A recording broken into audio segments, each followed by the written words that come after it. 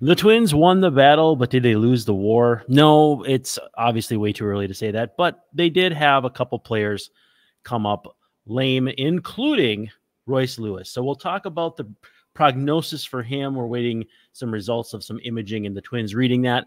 Beyond that, though, a great opening day. We'll talk to Dave Brown about it. He was there. This is Locked On Twins. You are Locked On Twins your daily Minnesota Twins podcast. Part of the Locked On Podcast Network, your team every day.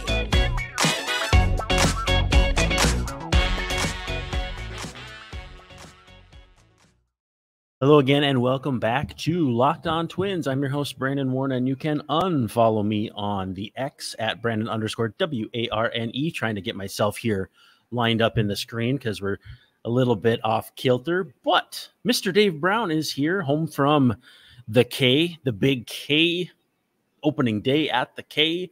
You can follow him on Twitter at answer Dave Brown. Dave, I based on your face, I think you can tell that I'm in some stage of delirium from just being wiped out by chlorine today. the pool of the uh, hotel. Yeah, yeah, it was like a a contact high from all the chlorine. It's it's not good. You, my daughter got really sick at dinner and like she's got pink all over her face, and it's like, yeah, maybe we should talk to somebody about this. But anyway, thanks for making Locked On Twins your first listen every day, and we're your second listen today if you're listening right when it comes out because that's a two episode Thursday for you, or if you're listening first thing Friday, we're top of the morning to you. We're excited to have you. But uh, yeah, we're free and available wherever you get your podcasts, as well as on YouTube and of course, part of the Locked On Podcast Network, your team every day. We love to have active listeners in the comments, whether it's live on YouTube or giving us a five star review on Apple Podcasts, all that fun stuff. We love to hear from you. But again, if you want to be part of the show, hit us up, leave a comment, leave a message. We'd love to hear from you. We'd love to talk to you. Dave, the Twins, though, won four to one, and it was actually kind of fun. You were texting me little bits and little updates. And at one point, when the Twins offense hadn't quite picked it up down the stretch, you're like, boy, this feels like it's got the hallmarks of a Royals, uh, you know, stealing one with a come from behind win in the in the ninth. Now that didn't happen. It did happen last year. Bobby Witt Jr. had a big home run against the Twins, but I think it was actually a grand slam, if I'm not mistaken. But anyway, um, I digress. Uh, not, nothing like that happened. Twins get some runs late, win 4 1. But again, not all uh, puppies and rainbows and all that good stuff. There were some tough moments in the game, and they came pretty early. Well, Royce Lewis got off to another great start by hitting a home run. I couldn't believe it wasn't a grand slam, though. I'm sure he'll work on that. Um, yeah. But uh, just and and Rocco marveled after the game about, boy, he did it again. You know, it's like every day. And I know we just started the season, but he's thinking back to the playoffs and down right. the stretch last year. But of course, if you're not if you're not aware, um, I think it was after his second at bat, uh, Lewis got hurt running the bases. He uh, has a quad injury. That's what the Royals are called. The Royals, the Twins are calling it. The Royals probably would call it that too. Yeah, probably. Uh, we don't we don't have a uh, strain grade yet, and that will determine the length of how long he's out. Rocco's like, I don't want to speculate about that, but usually these quads, right. I think we're, we're talking minimum a week if it's like not that bad of a, of a strain. And but mm-hmm. he had mm-hmm. to come out; he couldn't run the bases, so right. I don't know. I, I, I bet we're looking at grade two anyway, which is probably an IL stint, and it's just tough. I mean, the, the pull of emotions, different directions. You know, Royce Lewis, one of the most talented players in the league, obviously, and also one of the unluckiest when it comes to injuries. How did you come away from his post game availability, regardless of how he came out health wise? I feel like that personality, like that is a clubhouse pillar kind of human being. And he's affable, he's positive. I just I don't know how you can come away from being around Royce Lewis and not have your mood elevated at least a couple octaves. Yeah, and not be hopeful about tomorrow. And I right. mean, his, uh, I think I said something like, uh, you know, his ions are all positively charged. I mean, he's, um, and he even said at one point, "Oh, it was a great day. We had a great game. We won. I hit a home run in front of my family." He tends to look at the bright side of things. You know, mm-hmm. I asked him uh, and we have video of it, so I, I don't want to like give the whole thing away. But he's he lists some reasons why he's a positive guy, and, and we'll get into that when we show it. Um, but the other players recognize um, what he brings as far as a personality that goes beyond what he brings as a talent, and uh, he's a teammate that they definitely uh, pull for, and glad is on their side, and wish that he maybe had better luck with injuries. Yeah, and we have we have clips from him, Kyle Farmer, and Pablo Lopez. So we'll share those whenever you decide are best because you're gonna know the context of them a little bit better. Um, I love how you, you sent uh, me. Are we close to a break uh, as far as about four minutes here before we're gonna give some let's, love uh, to uh, FanDuel. So we got some time here if you want to listen to Royce or let's, whoever. Let's do Royce. Let's let's play right. what Royce said after the game. We'll we'll roll Royce, not Rolls Royce, who isn't a sponsor, uh, but hey, we're listening. Um, here's Royce for just a sh- uh, shade under a couple minutes uh, addressing the media. And if you're watching on YouTube, he looks pretty dapper too, I might add. So again, if you're only listening, it might be worth running over to YouTube just to get a peek at uh, at Mr. Royce Lewis. But here he is. When you rounded to second base and you felt the injury, what goes through your mind in that moment? Uh, I was just confused. You know, it honestly just felt like a little cramp, um, and it just tightened up. You know, as you're running, and obviously that's where you see the hindrance of me trying to score. Um, and then honestly, the first thing that was in my mind was like, dang, that should be 3 1. Carlos hit it perfectly down the corner there for me to score. And so uh, I actually envisioned that. I'm like, man, he's going to hit one in the gap. I'm going to score. Uh, so I was just more bummed that I couldn't score. Uh, I guess it's at least it's not the knee, you know. And some things that I'm looking forward to are uh, how, how long it's going to be, right? And then what the process is that I can come back and make things work. You've been through so much rehab and working with trainers and doctors that I'm assuming that's why you're smiling right now because you know you've been able to beat all these things that have come your way and you'll be able to conquer this as well. Yeah, I think I'm just smiling because I was blessed to play. It's my first opening day, right? So uh, I just look at all the positives. Like I said, you know, I had a beautiful time watching the plane fly over. I don't even know what that was. I've never seen that before. It was like a superhero movie. And then uh, the fireworks and uh, seeing all my teammates and standing next to Carlos and Buck who are two of my idols. Uh, I you can't, it can't get any better than that. I was just smiling out there and having a great time, so that's why I'm smiling. And, and we got the win on top of that, so it's a great opening day. Does it ever feel like you just can't catch a break? Uh, no, not necessarily. You know, I had a great spring. Uh, I feel like when you do things right, you know, not all the time, uh, something I can't control, right? These stuff, and it's part of the game. So, um, you know, I'll, I'll catch breaks. I come back and make things happen. We'll have some more fun. Where does your positivity come from? Uh, the support, my family, uh, my faith in Jesus Christ, and uh, my teammates. Honestly, I could tell that they, you know, they love and care about me, and uh, I just listen to the wisdom and their guidance and uh, enjoy the game of baseball like I have since I was a little kid. And if people aren't watching on YouTube, the two people in frame are Audra Martin and Do Young Park, and they both smile at least in some form or fashion on the video. I mean, Do, Do smiles a little more. Um, less obvious, but I think it, again, you see the kind of energy he has that pervades the area or it emanates from him. And then, you know, you finishing off with that question there, uh, how did you feel about his answer? Because again, I feel like it's overwhelmingly positive. Yeah, it is. I'm sure uh, fans probably have maybe heard Twins fans have probably heard him answer a question like that before, and maybe his answer was similar to what he said. But I, I like the answer. Sometimes when we get answers from players, you can tell they're canned, and you mm-hmm. can tell oh they're just saying something to say something, and which is actually sometimes okay too. But this was a case where it was nice that we heard some honesty, or, or what I think was honesty, yep. and yep. I liked that. Um, uh, you know, I believe that he believes in those things, mm-hmm. and you know, and um, I think he he answered the question as, as well as he could under the circumstances. Well, how about we tee up the next segment on how good Pablo Lopez was today with Pablo Lopez on Royce. So we can do that quick, take a break, and then uh, come back with Pablo, who did what Pablo does. But again, first here, here's a quick clip from him after the game that Dave so lovingly crafted for us. How bad do you feel for for Royce?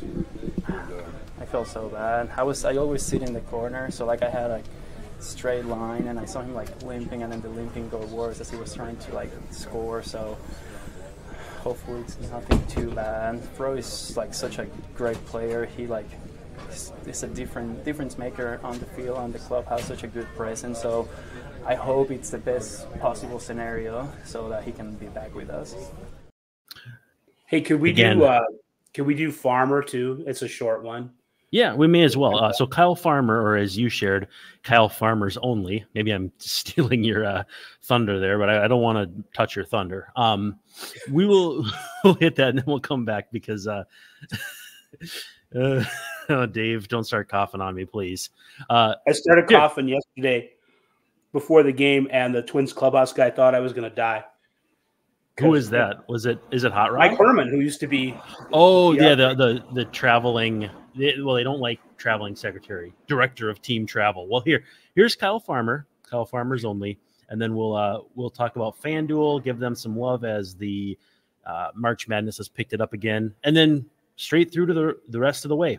But first, Kyle Farmer a clash of emotions when we see Royce get hurt and not yeah. wanting to let that bother you when obviously it's it would bother anybody. Yeah, it sucks. It really sucks. I mean, the guy hits a home run or a single, and um, I, you know, I've been around Royce for two years, and he's super positive, and so he'll come back from this, but never really seen it happen to somebody as much as him. You know, it sucks. He's a superstar and uh, you don't want that to happen to anybody, especially on you know whether it's on your team or not. Right. You know, you, it's good for the baseball, good for the game, and you know he'll be all right, but it, it sucks for sure. All right, well, we'll take a quick break. We'll talk about our friends at FanDuel. When we come back, we will have some more chatter on Royce, but especially some love for Pablo Lopez, who is tremendous. And if you are watching us, you are also probably in some form or fashion paying attention to March Madness, which has again picked back up. We're in the Sweet 16. You can say goodbye, though, to your busted brackets because FanDuel lets you bet on every single game of the tourney. So even if you had San Diego State beating UConn, like I did, and they lost by 30, you still have plenty of work to do, whether you want to follow up with a big upset, or just play the chalk with the one seeds. You can go dancing on America's number one sports book with FanDuel because right now new customers get 200 bucks in bonus bets if their first $5 bet wins. That's 200 bucks to use on point spreads, money lines, or you can even pick who is going to win it all. If you think UConn, the global number one, is going to do it, if you think Houston, like I do, is going to do it, I'm not here to tell you which way to go, but you can visit fanduel.com slash locked on and bet on college hoops till they cut down the nets. Again, fanduel.com slash locked on. That's 200 bucks in bonus bets if your first $5 bet wins. It's the easiest th- decision you'll make here uh, anytime soon. So, again, FanDuel, check them out. All right, Dave Brown. Uh, we saw two pitchers go at it in this one, and both had very good days. Um, I honestly would like to see how many pitchers give up a run, a home run, to the leadoff batter and then allow nothing the rest of the day, or a team gives up a run to the leadoff batter, Maikel Garcia in this case, and then uh, nothing for the rest of the day. And it only tied the game because Royce Lewis did what Royce Lewis does in the first inning with a big homer. But um, it's just so funny that your first act in a game does not mean that's what your day is going to look like. And I think Pablo typified that about as well as anybody could.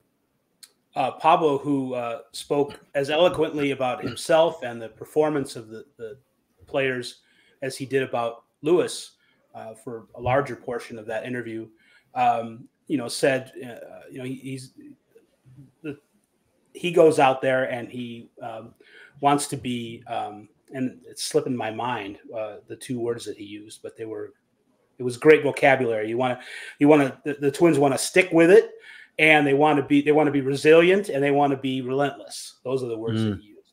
And he was talking about him, the team, but it was also kind of how he personalized the game himself and you know he he wanted to not let that bother him and go out there and uh, do his thing for the rest of the game, and that's what he did. And it was uh, it, it was a it looked like the balls were flying early, and we might have a, a lots of scoring going on. But Pablo uh, pitched one of his better games, I think, as a as a twin uh, with this with the win today, and he was just uh, he was relentless and he was and and he kept at it when uh, you know he didn't there wasn't a lot of traffic on the bases, but he was able to get out of the jams that uh, did happen.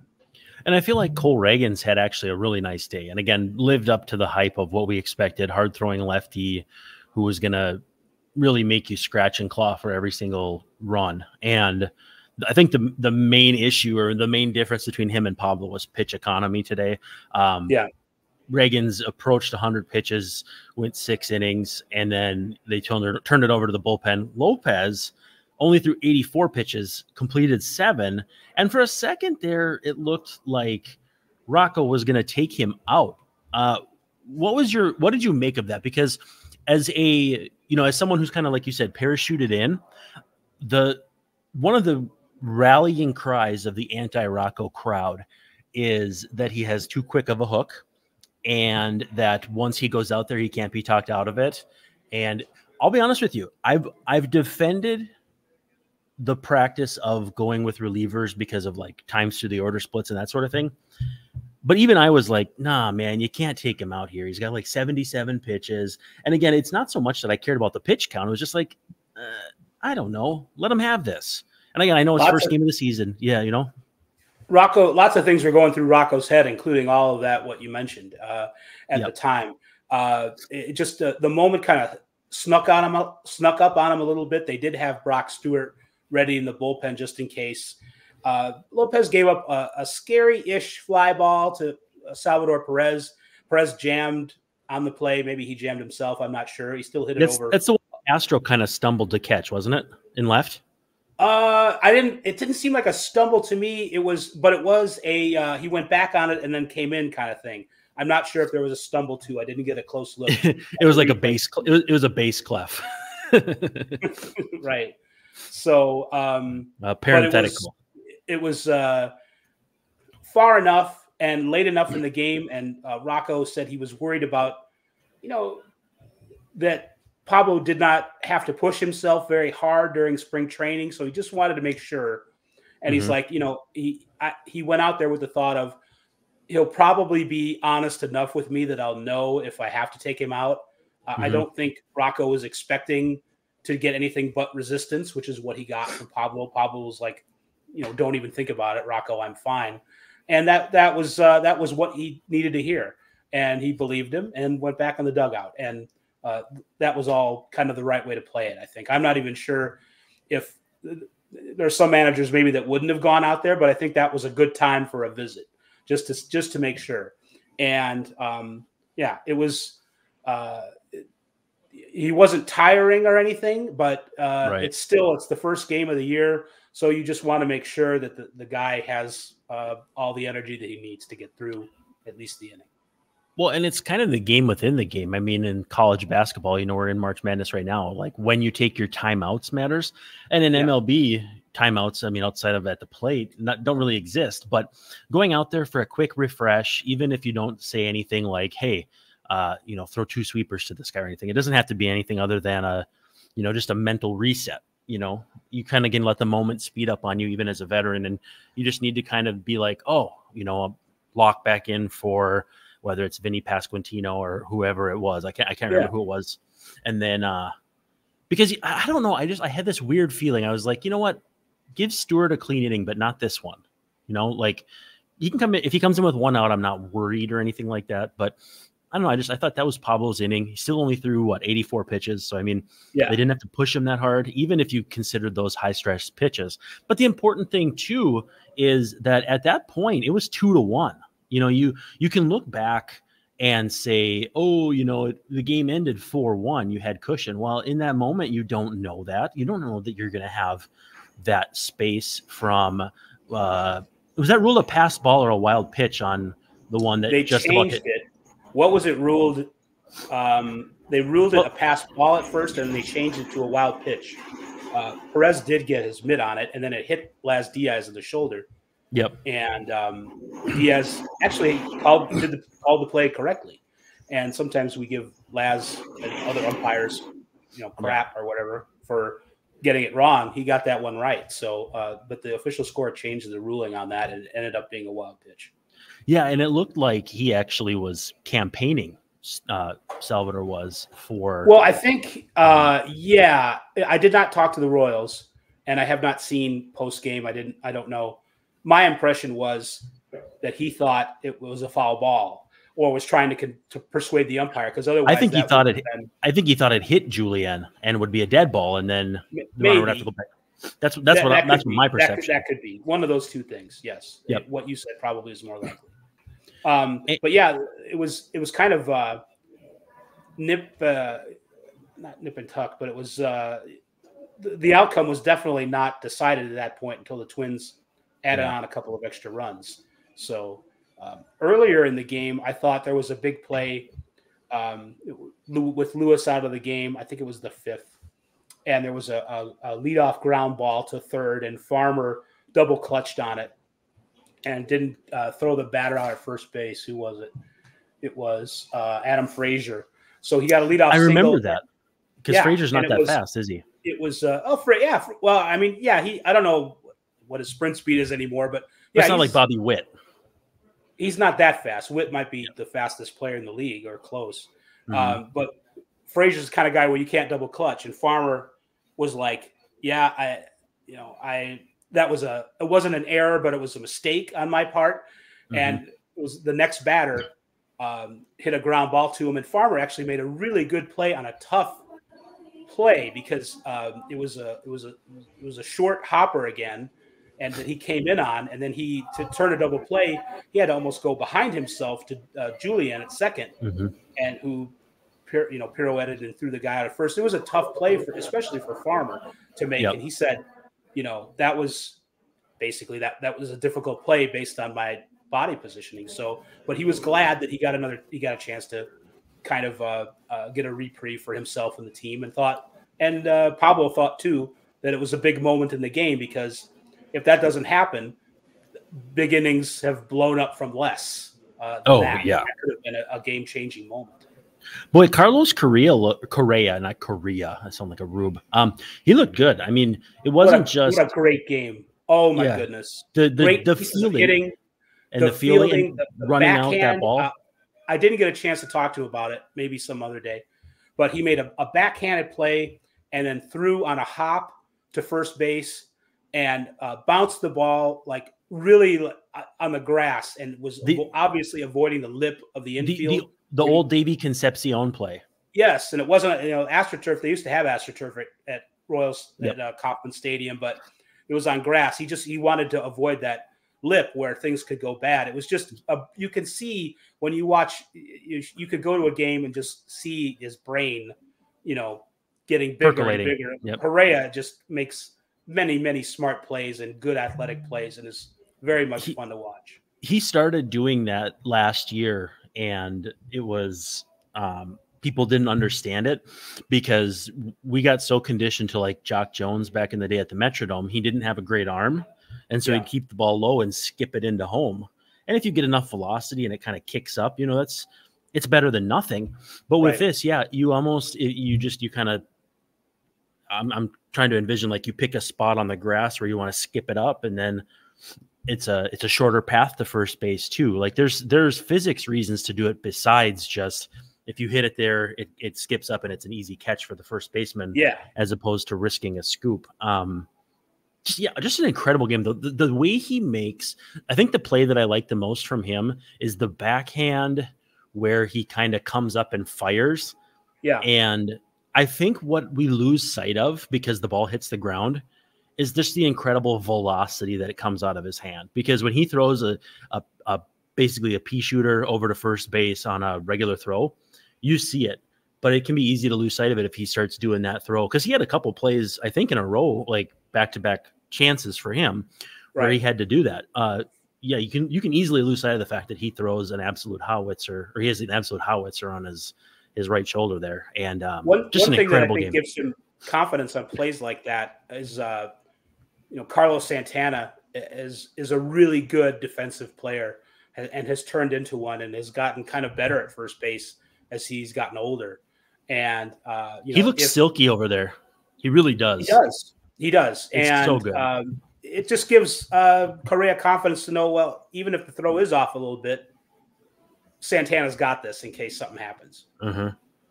What did you think? You know, we were talking about lineup stuff before the game. How did you feel like the game flow and how everything kind of panned out uh, worked? Because you know Matt Wallner didn't get in the game until after Max Kepler actually fouled the ball off his knee or his He knee fouled the ball area. off his knee. Uh, Yeah, imaging and, came uh, back negative and all that, but Yeah, The game flow, Rocco's- Thinks he might it might be sore, and it's possible we we might see him rest in the next game. So, um, but as far as the flow, move, well, the Rocco thought within that the they did a, a pretty good job. The offense did a pretty good job against Ragans. They made him work just enough. You kind of mentioned Mhm. that he had to throw a few extra pitches uh, when compared to Pablo. And you know, Buxton, Byron Buxton, sort of took the opposite tack uh, early. Yeah. He swung it. He swung at two pitches and made two outs in his 1st Mhm. two at bats. Um, but he got on base a couple other times after that. So that that was kind of a, another good.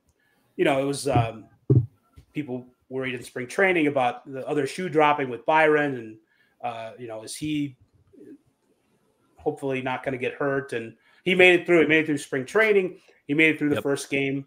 There weren't any scary play. There was one scary-ish play in the outfield. He didn't have to make any great plays, Byron, but there was one ball. Uh, Bobby Witt hit a seeing eye double that was um, Willi Castro converged uh, with uh, Carlos and with uh, Mhm. Buxton in short center field. It turned into a double, but Oh, yeah. that that wasn't bad. Um, and I, I also want to mention Castro played left instead of Margot, which surprised me, but maybe shouldn't have because they don't want to DH Castro because they might want to switch his position later in the game, Mhm. go to second base or whatever. And if they had made him a DH, then that plays with the rules and, and limits you. So that's why uh, Margot was the DH, uh, at least until Kirilloff pinch hit for him in the middle of the game. And I'm glad uh, you came, you came over to the dark side because I was trying to convince you before the game. Yeah. Well, I know that's why they did it. It's still, I still It's- have questions about why you go and get Margot if he's going to be a DH. It just doesn't make sense to me that necessarily that would be your DH, but whatever. That's another topic for another. I well in against a, a it would only be against a lefty against a righty if Castro's out there. I uh, know, but still, still- and it's- I get it. It, was weird to me to not have. Wouldn't you want? I mean, if you moved, if you moved Castro to the infield for some reason, let's say you wanted to pinch hit him for a farmer or whatever. Um, well, that wouldn't make sense because he would have been starting the game. I don't know, man. It's, it's been a long day. It's uh, it, it gives us some fun fodder to talk about. I don't know if you saw it, by the way. Nelson Cruz signed a one day contract to retire as a member of the Mariners. If there's been a twin mercenary, and by that I mean a player that they signed who is not in their prime or anything, Right? um, you outside mean of that Jim the nicest way, nicest the nicest mercenary ever. Yep, he uh he like Jim Thome's on that list, but Nelson Cruz, man, uh, Twins fans just adore that guy. Well, he's pretty adorable. Uh, He really I like him too. He's a good. Uh, he seems like a good dude. Uh, I know he had the, the one black mark against him as far as Mhm. PED uh, suspension, um, and I, I would be a jerk to bring that up, wouldn't I? But um, You're a jerk. I certainly forgive him or, or whatever. Not that I have to, but I, I don't dwell on it. Um, so that's cool that Nelson Cruz is going to have a, a nice ceremony for the Mariners and a, and a goodbye. And he, he had a great season or however long it was for the Twins. How long was it? A season and a half? season season and a half. Yeah. Um, And it turned into Joe Ryan in a trade. So thank you for that. or was it two and a half? Now that I'm, you know what, I'm, might have been. I'm, I'm second guessing myself because I think it was a two year deal and then a one year. Why did I just search for Nelson? It's late, friends. It really Nelson? is. And, and yeah, it turned into no, that's Hanson, isn't it? No, the, Nelson predates Hanson. The two blonde Uh, kids. two and a half Nelson- years. Yep. Okay. Ricky Two and a half years. sons. Um, so can I just do a couple like random observations? So Buxton looked okay, looked okay Yep. in the outfield. It was good to see him go. Ryan Jeffers hit second, which I didn't see coming. That didn't really Nobody work did. out, but that's fine. Rocco's like, he's he's kind of he earned the op- he earned the opportunity. He said he had a Yep. good hitting year last year, had a good hitting year in camp. Left-handed pitcher made sense to do that. Sounds Mm-hmm. good to me. Um, Kepler might have a sore knee, might not play in the next game. Um, Castro made some really good plays in the outfield, um, aside from that weird one with Sal Perez. Um, and Kirilloff pinch hit for Margot in the middle of the game. I didn't even I didn't notice it at the time. I didn't realize it. And then he came up again, and I thought he got a pinch hit single, but that was his second at bat. And Margot's not hurt or anything. It's just yeah. they wanted to get Kirilloff in at bat. They just wanted to get him into the game, and that's why he did that. So there's no injury with with Margot. So. Yeah, no, it's just a platoon thing. By the way, uh, nature is healing. Eddie Rosario homered off Emilio Pagan today, so I don't know if Twins fans know exactly how to process. Oh wow, news, but that's um, wild. I love. Yeah. I remember. I don't know if it was his first game, but I remember Eddie Rosario hitting a triple or something. It was like the first game that he played in front of his family. He homered. He homered on the first field. at bat. It might have even been the first pitch, which is the most Eddie Rosario thing of all time. Of course.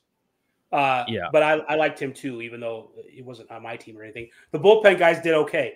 Brock yeah. Stewart did good. Uh, Jax started out a little wild, but filled his role fine. So um, you know they didn't have all you know worried about the the bullpen injuries, but those guys were good in relief of uh, of Pablo. Well, maybe the starters will just go seven every game and it won't matter. But Dave, thank you so much. Happen, yes. Yep. Thank you so much for your hard work at the K today. Uh, day off tomorrow. That weather built in day for AL Central games and a lot of other ones. But sounds like the weather won't be so bad that they would have needed it. But for a day off, we'll take it.